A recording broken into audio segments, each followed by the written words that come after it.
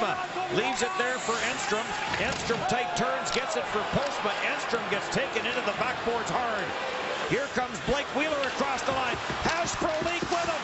Wheeler waits, waits, fires, scores! Blake Wheeler scores!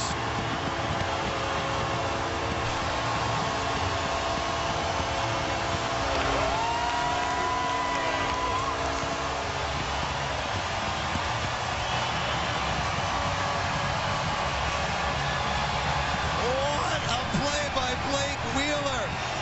First and 10, and he makes it count in overtime to keep the Jets' hopes alive. Puck gets stretched out. Barry way in deep, turning a two on one. Question is if that's onside. Blake Wheeler comes across, and he's trying to buy some time, trying to find the guy in the back door. Look at Berra bite on the pass. Puts himself so out of position, thinking the puck's trying to get to Postma. That when Blake Wheeler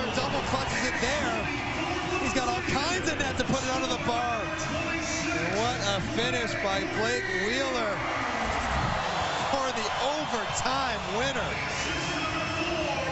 Heroics here at the MTS Center. Paul Postma gets his second point of the game. There's a story in itself. Found out 20 minutes before game time that he was going to be in the lineup. Heroics from Blake Wheeler sends the crowd home happy here at the MTS Center. Our post-game show to come. Stay with us.